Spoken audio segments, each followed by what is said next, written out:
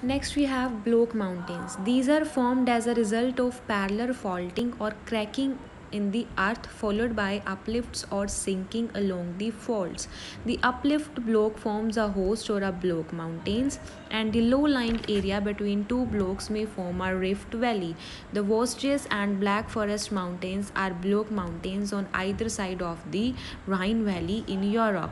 The Vindhya mountains in India are also block mountains. This is the picture of the Vosges mountains in Europe. Let me show you this is the area. Now we are going to discuss uh, formation of the block mountains. And as they said when there are crack in the earth's crust and when you will put pressure on this the um, mid area will sink downwards and the either sides will remain there. And these are the block mountains.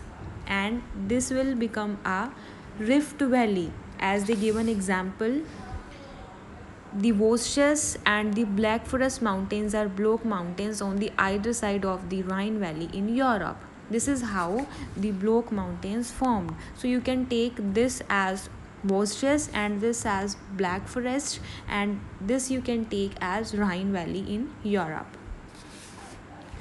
And in India, Vindhyan mountains are also the block mountains.